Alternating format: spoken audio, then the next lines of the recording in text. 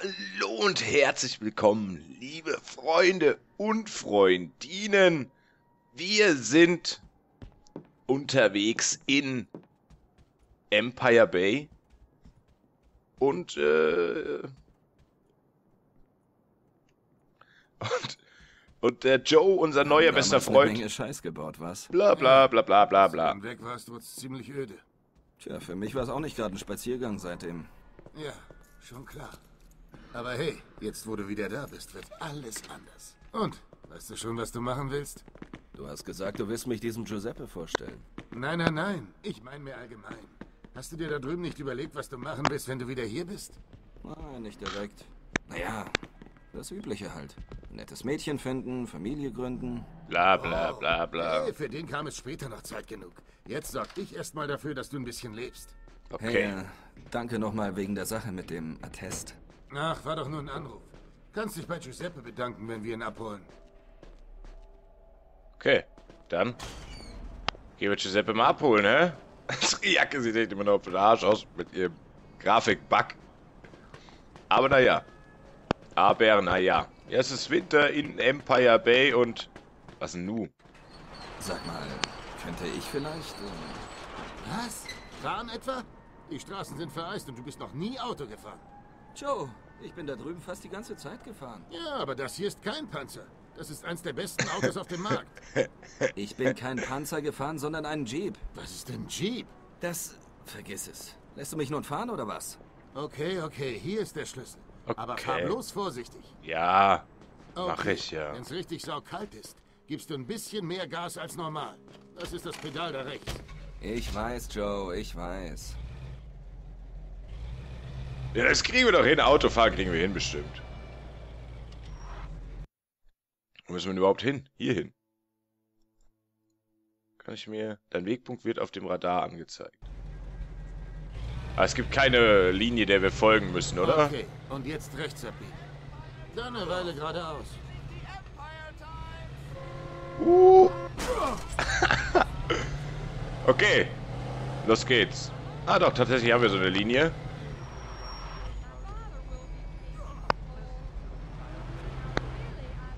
Ach. Kann ich irgendwie hupen? Achso, E- F ist aussteigen, glaube ich. Oder?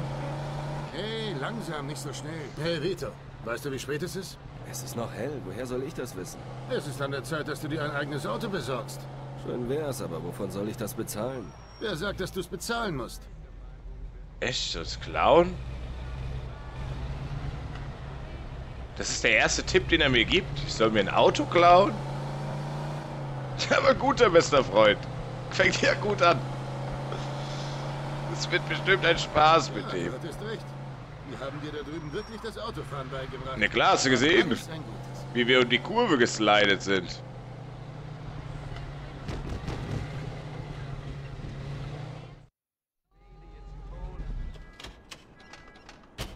Siehst du, das sieht doch gut aus. Huhu, schau dir das Schätzchen mal an. Schick. Ein 42er Jefferson. Ah ja. Es wäre eine Schande, bei so einem schönen Wagen die Scheibe einzuschlagen. Du solltest dir bei Giuseppe ein paar Dietriche besorgen. Ah ja. Ja klar, machen wir doch. Willkommen in Giuseppes Laden, ein Paradies für Diebe. Er hat einfach alles, sogar gefälschte Waffenscheine und Armeeentlassungspapiere für diejenigen, die keinen Bock haben, sich abknallen zu lassen. Das ist doch praktisch. Giuseppe, ich habe einen neuen Joe. Kunden für dich. Der ist doch in Ordnung, oder? Absolut einwandfrei. Das äh, hier, ist Vito, bester, mein bester best- Freund. Wollte ich gerade sagen. Und das ist Giuseppe, der beste Safeknacker in ganz Ah, immer Empire Bay. Ruhestand, bitte. Freut mich. Sind die Papiere für ihn? Ja, ganz genau. Sind Sie schon fertig? Sie, war scheiß Arbeit, aber sind fertig. Danke. Sind die auch wasserdicht? Die Armee wird dich nicht mehr belästigen, glaub mir. Siehst du? Was habe ich gesagt? Dein Geld. Nimm deine Papiere, Vito. Danke. Hier, Na, zack. wir brauchen noch einen Satz Dietriche. Sehr richtig. Und rate mal, wer die bezahlt. Ich? Ah, Dietriche.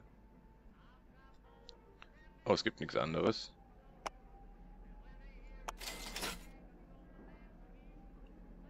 Okay. Durchsehen. Also der hat noch nichts anderes als Grazie. Dietriche. Du kannst Okay. sie gleich mal ausprobieren. Hier. Nimm das Schloss hier. Du musst den Dietrich nur reinschieben und alle Stifte anheben. Mit dem Spanner hältst du die Stifte einen nach dem anderen fest. Wenn alle Stifte in Position sind, drehst du einfach den Spanner und das Schloss geht auf. Kinderspiel. Ah, okay.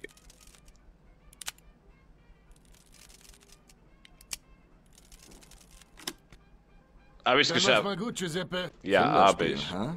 Keine Angst, du kriegst den Dreh schon raus. Ich mach das immer, wenn ich meine Schlüssel im Auto vergesse. ja, das äh, klingt auch total praktisch. Aber wir können immer nur hinterher rennen. So. Willst du den Wagen immer noch knacken? Machst du Witze? Unbedingt. Das ist deine Chance. Ja, klar.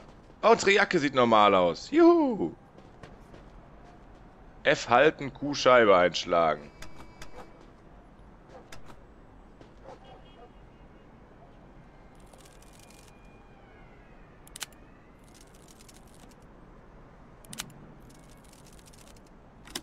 Zack.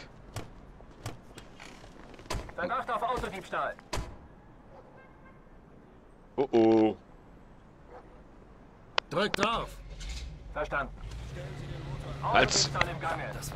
Ja, es ist noch nicht vorbei. Verdammt! Sie ab, schnell. Gott, was denn hier los? Warum ist es denn hier, äh...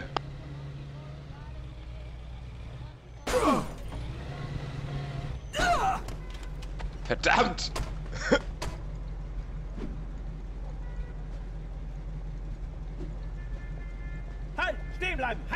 Echt jetzt? Verdammt! Warum ist er denn nicht, äh, wir hätten ihn einfach umfahren müssen. Verstanden. Jawohl, jetzt haben wir schon einen Revolver besorgt. Los! Verdammt! Joe!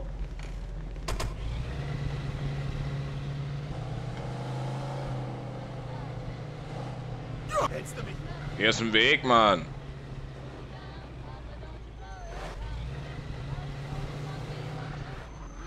Wenigstens haben wir jetzt schon mal einen Revolver.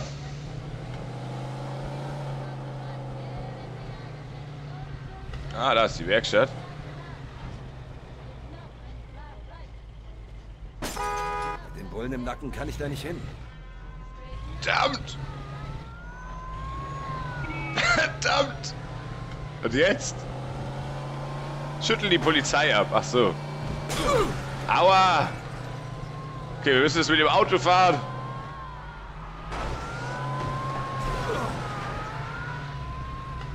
Irgendwie raus dem Auto rausschießen.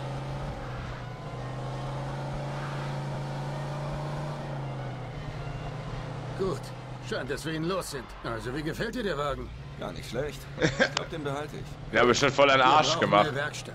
Die bieten genau das, was wir jetzt sehen. Uh, klingt aber nicht billig. Keine Sorge, das geht auf mich. Echt jetzt? zu einer Werkstatt. Ich kenne den Typen, dem sie gehören. Hier, park vor dem Werkstatttor. Okay, und jetzt drück auf die Hupe.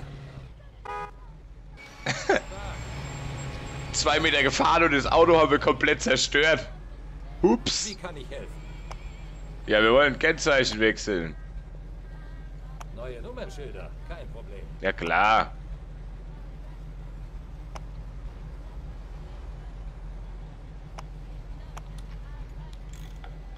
Es ist alles erledigt. Felgen wechseln, Wagen reparieren. Das ist super. Einfaches Tuning. Aha. Neu lackieren. Wir können ihn in jeder Farbe lackieren. Such dir was aus. Ja, irgendwas, was nicht so hässlich ist wie dieses Weiß. Tier. Türkis nehmen wir. Kennzeichen wechseln, Felgen wechseln, Wagen reparieren, einfaches Tuning.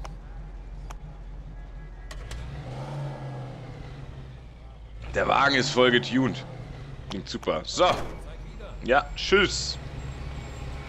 Also das ist unser erstes Auto. Mal gesucht werden wir super. Umziehen muss ich mich also. Gut, dann stelle ich dich jetzt Mike Bruski vor. Er hat vielleicht einen Job für dich. Okay, wo ist er? Ihm gehört ein Schrottplatz drüben in Riverside. Du kannst ihn nicht verfehlen. Piss dich! Wie hieß der Kleine nochmal? Welcher Kleine? Der von der Autowerkstatt? Ach, Tommy, er ist der Neffe meines Kumpels. Ein super Tänzer. Im alten Tanzlokal in der Oyster Bay vor ein paar Wochen sind alle Bräute seinetwegen durchgedreht. Ah Ist da ja. etwa einer eifersüchtig? Witzig. Ich brauche keine Tanzschritte. Ich habe meinen Charme, mein Freund. Ich Ah. verrate dir ein paar meiner Sprüche. Dann musst du dir nicht mehr jeden Abend einen von der Palme wedeln. Ich verrate dir ein paar meiner Würdest du für 50 Sprüche. Dollar mit mir ins Bett gehen? Aber mach schnell, ich brauche die Kohle dringend. Oh Gott, ernsthaft? Glaubst du dann lieber auf den ersten Blick oder soll ich noch mal reinkommen? Oh, Oh, Bitte. ja echt. Oh. Oh. Bist ja ultra Hey, schlecht, das ist ein Alter. Kleid. Das würde sich wundervoll neben meinem Bett machen. und das soll funktionieren? Ja echt, das glaubst du doch selber nicht. Kennst du den Unterschied zwischen einem Gespräch und Sex? Nein? Wollen wir zu mir ein bisschen reden? Schon klar, dass du Probleme hast. Ja echt. Hallo Kleines, eigentlich bin ich kein Mann für eine Nacht. Aber bei dir mache ich eine Ausnahme. Ja, der war schlecht. Wenn Ja, der war echt in der Hose schlecht. Hat, dann braucht man nicht gut reden können, verstehst du? Okay, wir sind fast da. Oh, ein Gunshop. Ich will lieber in den Waffenladen. Können wir nicht in den Waffenladen gehen? Es gibt einen Waffenladen, Freunde. Wuhu! Gott sei Dank, endlich gibt es wieder einen Waffenladen. Ich mag Spiele, in denen ich einen Waffenladen kann. Parkplatz. Fahr einfach durchs Piss dich, Mensch! Bin von der scheiß Mafia.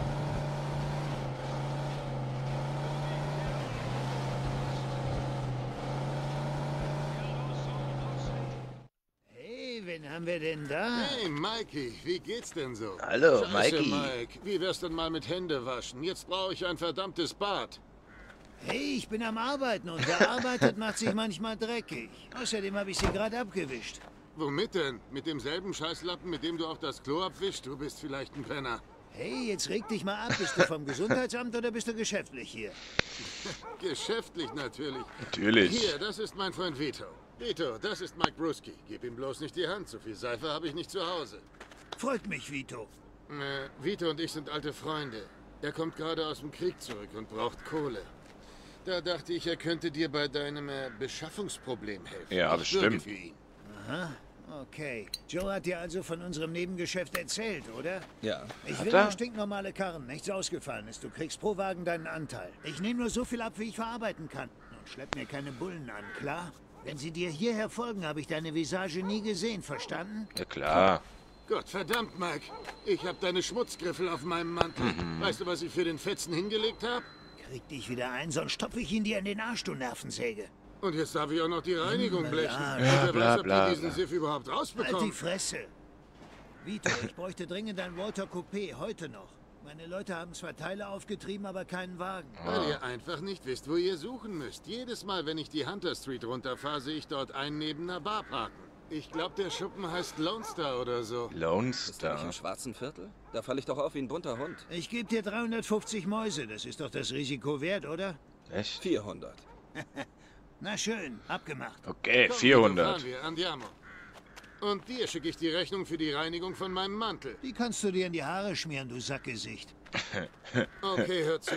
Das ist sozusagen deine Jungfernfahrt hier. Versaus also nicht, verstanden? Ja klar. Hier, Vito. Nimm das. Uh. Für alle Fälle. Hey, klasse. Außerdem, ich hab das schon. Hey Mike, darf ich das Ding mal ausprobieren? Klar, lass dich nicht abhalten. Ich hab doch schon eine Waffe von den Bullen. Dann mal los. Den ich, äh, Ziel auf die alte Kiste da drüben. wie auch immer, irgendwie. Äh,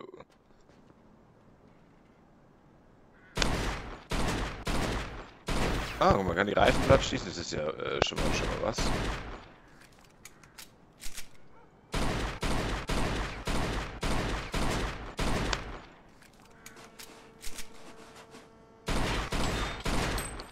Sprich mit Joe, um mehr Munition zu bekommen. Joe, gib mir Munition.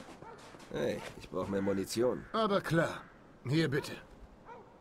Danke.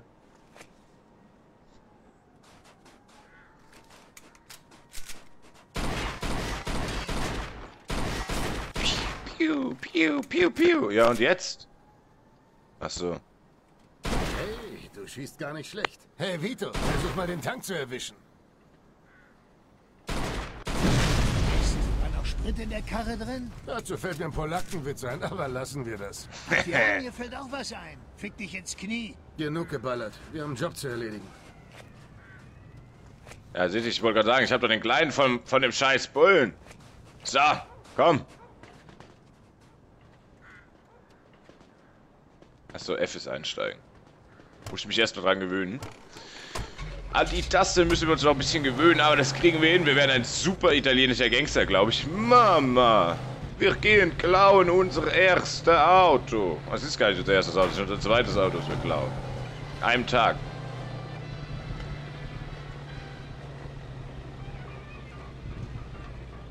Aha, Radio aus. Kann Radios nicht leihen.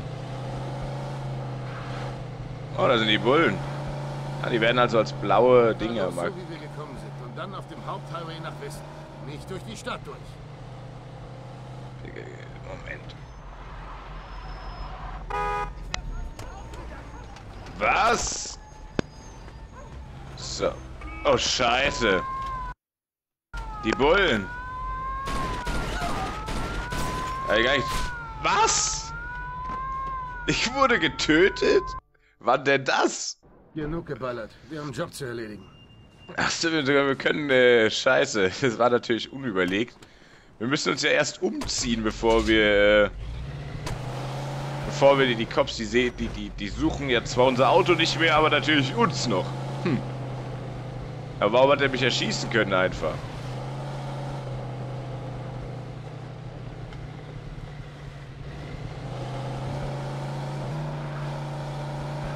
So. Jetzt fahren wir aber hier das... Fahr los, so wie wir gekommen sind. Und dann auf dem Haupthighway nach Westen. Nicht durch die Stadt durch.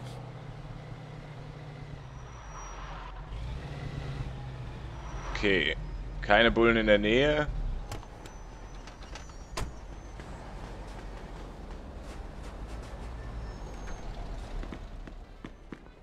Wollen Sie eine Waffe kaufen oder brauchen Sie nur Munition? Ein Revolver. Ah, ich kann nur die zwei nehmen, okay. Ist natürlich schade. Dann gehen wir natürlich wieder, weil die haben wir ja beide schon. Sind ja eine Schrotflinte gehabt oder sowas. Verdammt! Schnell, die Bullen! Ah, sie haben uns nicht gesehen. Sehr gut, sehr gut. Also ich denke, wir werden doch das ein oder andere Mal Stress mit der Polizei bekommen. Oh, wir haben Vorfahrt. fahr hier rechts rein. Na, wie ist es wieder hier zu sein? Super. Gut. Noch besser wär's, wenn ich ein bisschen Kohle hätte. Ja. Hey, nichts überstürzt. Geld allein macht auch nicht glücklich. Red kein so ein Scheiß. Echt? Ach, ich wollte dich nur verarschen. Keine Panik wegen dem Geld. Der kleine Job hier ist bloß der Anfang. Bald schon schwimmst du in Kohle. Ja, sehr Sag gut. mal, ist St. Island immer noch das gleiche Drecksloch wie damals, als ich weg bin? Nein, nein, die Gegend ist jetzt gar nicht mal so schlecht. Ohne Scheiß. Wie zum Teufel ist das passiert? Die Schwarzen sind alle zum Überwintern im Süden. Klar ist das immer noch dieselbe Drecksgegend wie du. Warst ja nur ein paar Jahre weg. Es braucht viel länger, Ja. bis diesem Viertel mal was wird. Die vermehren sich hier wie die Karnickel. Aha. Es ist sogar noch schlimmer als damals, als wir jünger waren. Was soll man machen? sogar eine Gang. Wie heißen die gleich nochmal? Die Beamers, die Boomers, irgend sowas. Ist ja auch scheißegal. Oh, verdammt, ist er toll. Die haben Worüber eine machst du dir Gang. Sorgen? Diese Tiere können nur Drogen verticken und sich gegenseitig umbringen. Lass dich von denen nicht nerven. Und wenn sie es doch tun, dann hast du ja eine Knarre von mir. Ähm, Stimmt. Sag mal, du hast jetzt eine Knarre? Wieso das denn? Ohne kannst du heutzutage keine Geschäfte machen. Vor allem in dieser beschissenen Gegend. Du Telefonzellen. flößst mir wirklich jede Menge Vertrauen ein. Ja, echt. Das klingt alles total super. links ab. Was ist denn los mit euch? Kann ich euch aus dem Auto rausschießen? Meine Fresse. Wow, hatte ganz vergessen, wie schick's hier ist. Weißt du was? Irgendwann kaufe ich mir hier was. Noch keinen Tag zurück und schon ist ihm sein altes Viertel nicht mehr gut genug. Hey, nur die Ruhe, man wird ja noch träumen dürfen. Die Gegend hier kann ich mir in 100 Jahren nicht leisten. Ja. Lust auf Shampoos, aber die Kohle reicht nur für Bier.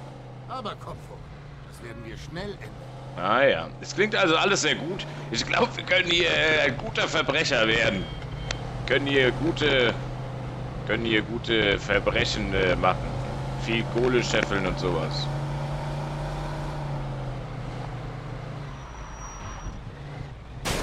Ups.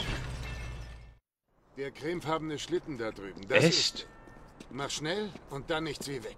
Wenn's sein muss, schlag ein Fenster ein. Wir treffen uns dann bei Mike. Und wenn es Probleme gibt? Hab Dann ich. löst du sie eben. Sieh's einfach als Test. Ja. Wenn du ihn nicht bestehst, in der Fabrik brauchen sie immer Leute. Klar, war nur eine Frage. Viel Glück, Alter. Danke. Vermass es nicht. Gut, dass wir einen Namen haben, wo unser, äh, eine Jacke anhaben, wo unser Name draufsteht.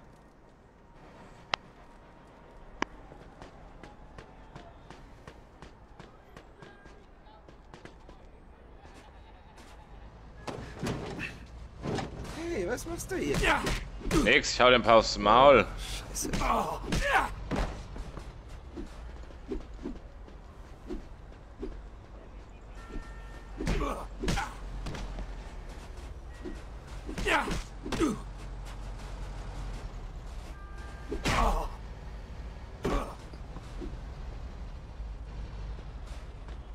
So.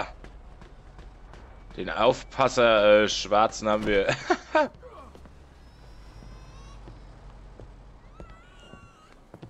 Hey! Hey, was machst du da, du Wichser? Klau dein Auto, du Affe.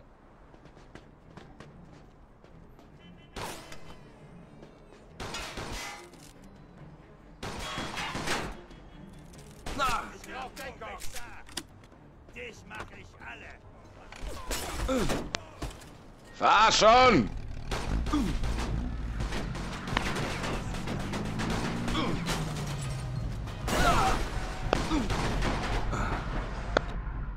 Ah, ich wurde schon wieder getötet. Verdammt. Verdammt! Da werden wir wohl äh, uns erstmal eine Schießerei leisten müssen, hä? Hey, was machst du hier, du Arschgesicht? Ich schlag dich kaputt. Oh, scheiße. Aua. Ich weiß gar nicht, warum ich mit, Knall den Hurensohn! ich weiß gar nicht, warum ich mich mit dem rumärger. So.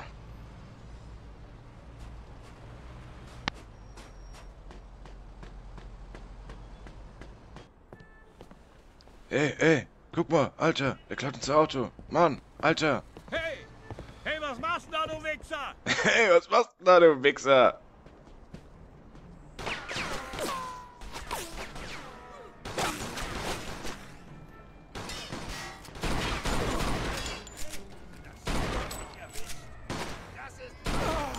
Kopfschüsse, Freunde, Kopfschüsse! Wir sind ein verdammter Soldat! Ah. Komm schon!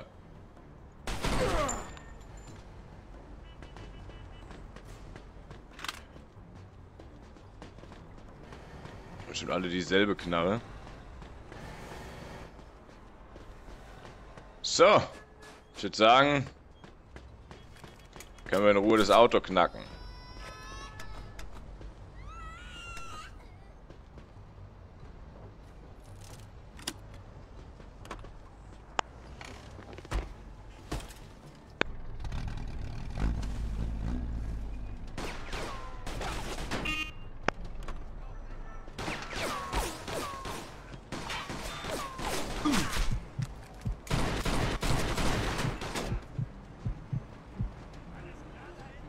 Okay.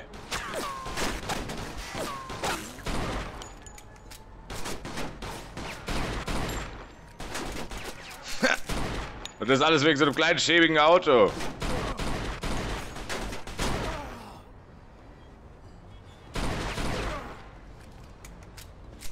Jetzt habe ich schon sechs Leute erschossen wegen äh, irgendeinem Auto. Also ich meine hier auch wegen so einem... Ne, wegen diesem Pimmelgram hier auch.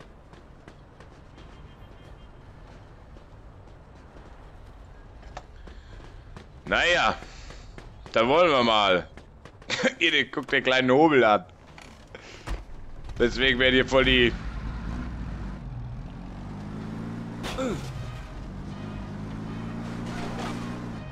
Hätte ca. 1,80 groß, dunkles Haar, normaler Körperbau. Uh. Alter, was ist denn mit dem Bulle los?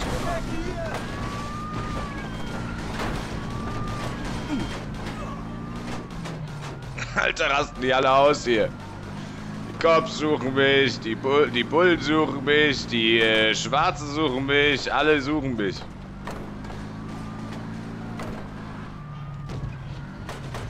Ah! Alter, was ist denn los mit denen, Mann?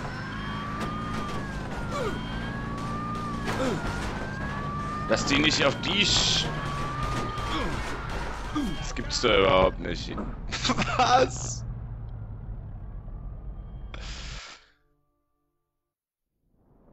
Echt schon wieder von vorne, Alter. Das ist ja... Das ist ja ein bisschen nervig schon, äh. Hey, knall den! Scheiße. Jetzt kommen die anderen Spinner wieder.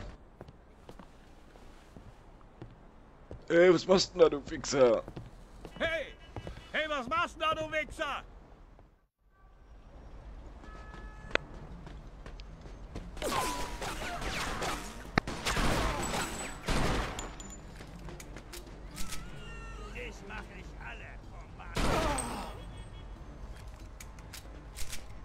So.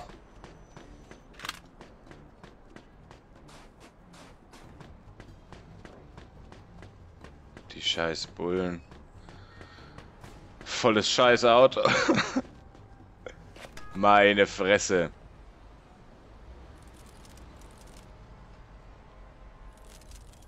Verdammt!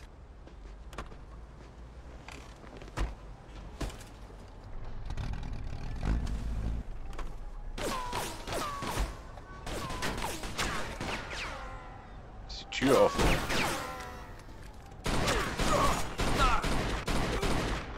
Tut mir leid, Alter. Du solltest nicht in der Schießerei zwischendurch rennen.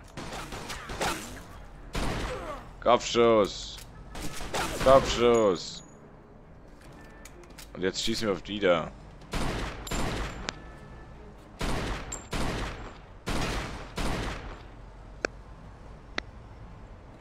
So. Jetzt gehen wir verdammt nochmal.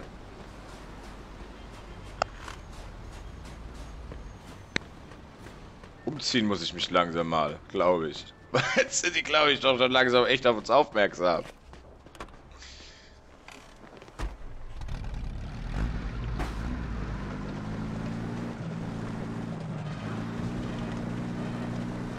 Keine Cops, keine Schwarzen.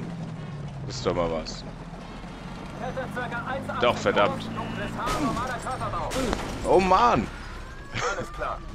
So eine kleine... Sch ja, äh, vielleicht liegt es, liegt es an dem Schnee. Ist es so? Hier, was geht denn mit denen ab? Ich hab Auto geklaut, verdammt nochmal.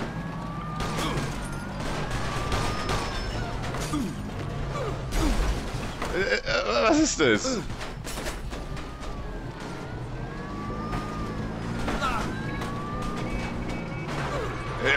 Die Bullen, die Bullen und die Schwarzen rasten einfach end aus. Gibt euch das Auto an. Das, wie soll ich denn das noch jemandem verkaufen?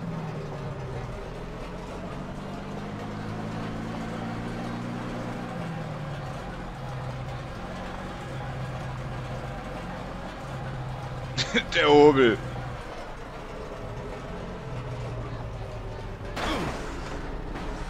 Oh Mann, Alter. Okay, das Auto fahren und so und was wir, wo wir hängen bleiben und so, da müssen wir uns noch ein bisschen dran gewöhnen. Also ich muss mich da noch ein bisschen. Was? Achso, jetzt ist unser Reifen kaputt gegangen, deswegen sind wir auf den Bürgersteig. Oh toll. Na toll. Wie soll ich denn so entkommen?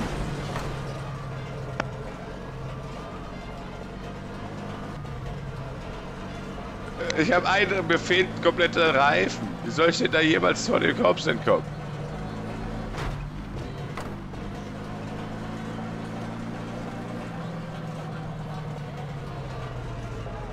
So.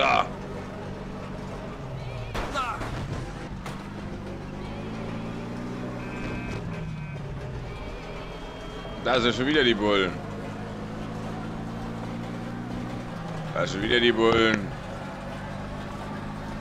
Oh Mann. Das kann ja ein Spaß werden. Also ich denke, wir müssen uns natürlich so ein bisschen dran gewöhnen und so. Und dann wird das alles... Und, dann, glaube ich, werden wir ganz gute Verbrecher. Und toll. Aber wir dürfen die Cops doch nicht zu dem bring bringen. Sonst wird er sauer, hat er gesagt. Weil der Scheißkahn ist doch schon voll am Arsch. Schnauze.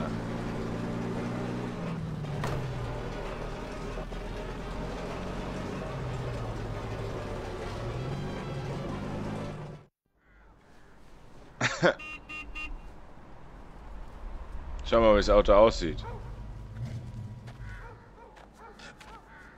Hey, Auftrag ausgeführt. Wie lief's? War ein Klacks. Wenn man davon absieht, dass der Wagen ein paar Bimbos gehört hat, die mich umlegen wollten, als du weg warst. Ah, die Bombers wahrscheinlich. Hunter Street ist ihr Gebiet. Wegen der Vögel brauchst du dir keine Sorgen zu Äh. machen. Die hängen nur rum, klauen, reden Scheiße und rauchen Dope. Ah ja. Na, dann wollen wir mal sehen. Hm, hübsch, keine Flecken, sauber. Woher hat so einer Geld für so eine Kutsche? Wahrscheinlich geklaut. Trotzdem hübsch. Ja, total soll ich hübsch. gleich nochmal dafür zahlen? 600. Dein Kumpel gefällt mir, Joe. Hier sind eure 400 Mäuse. Kommt mal wieder vorbei, okay? Vielleicht ergibt sich ja wieder. Ja klar. Wir sehen uns, Mike. Ich schau bald wieder vorbei. Ciao, Mike. Okay, Jungs, bis die Tage. Hier sind 300 für dich. 100 gehen an mich als Provision. Das nächste Mal kassierst du allein. Klasse. Danke, Joe.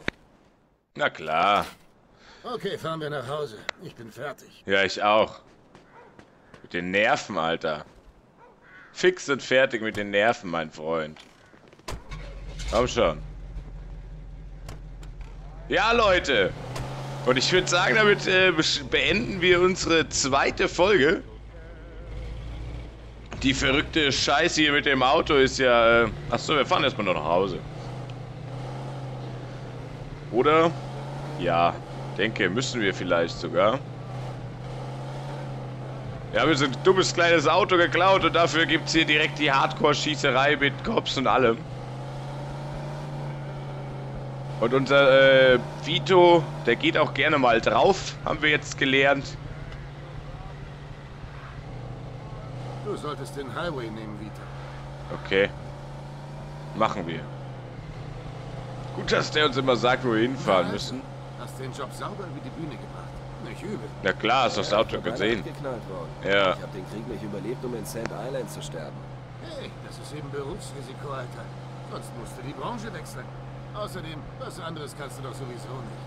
Ja, da hast du wahrscheinlich recht. Ja, Mach wahrscheinlich. dir keine Sorgen, das wird schon alles. Okay. Wenn du das sagst, Joe, dann will ich dir vertrauen. Du bist doch mein bester Was ist jetzt Freund. mit diesem Broski? Es lohnt sich, den guten alten Mike zu kennen. Der Grieskram hat immer was am Laufen. Hauptsächlich handelt er mit gestohlenen Autos. Er hat mal eine Zeit gesessen. Ich habe gehört, dass er damals Tankstellen überfallen hat. Lässt du ihn die Reinigung für dein Jackett bezahlen? Nee, das lasse ich ihm durchgehen. Ich mache mit dem Kerl eine Menge Geschäfte. Außerdem dreht er schnell durch. Als wir mal auf der Rennbahn waren, hat ihm so ein scheiß Ihre Bier über seine Glückskrawatte gekippt. Mike hat ihn vermöbelt, bis der auf einem Auge blind war. Wegen einer 10-Dollar-Wette. So ein Mistkerl.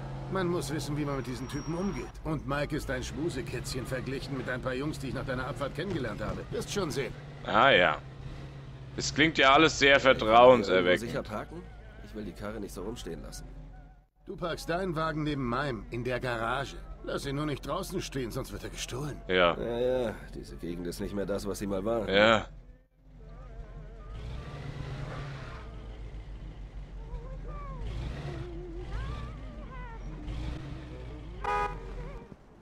Sehr schön. So parkt man also sein Auto heutzutage in der Garage. Wir müssen jetzt unbedingt was anderes anziehen. Langsam komme ich mir blöd vor in unserer College-Jacke. Wie er dann immer schon da drinnen vor der Tür steht, finde ich super. Los!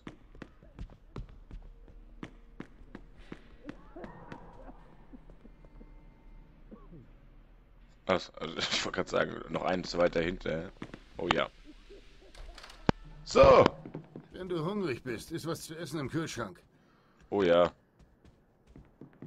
Hast du Hunger, Vito? Tür zu hier. Dir aus dem Kühlschrank, was du willst. Kleidung wechseln. Das ist aber nett von ihm. Dürfen sogar was essen. Die ziehen wir jetzt an. Suchen uns nämlich auch die Bullen nicht mehr. So. Wenn du isst und trickst, kannst du Verletzungen heilen. Ja, das ist gut. Wir hauen uns mal so ein Sandwich rein.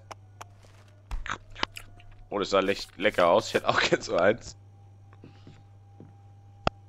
Und jetzt äh, trinken wir noch ein Bier. Nee, Bier. Trinken wir keine Cola, verdammt. Was ist denn los? So.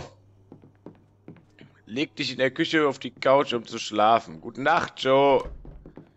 Äh, ja. So. Kapitel 3. Es geht aber flott mit den Kapiteln. Staatsfeind. Joes Apartment, 10. Februar 1945. Eigentlich wollte ich eine Pause machen, ne? Toll. So. Damit machen wir auch eine Pause, Leute. Und ich wünsche euch einen schönen Tag, einen schönen Abend, wie auch immer. Haut rein! Wir sehen uns! Ciao!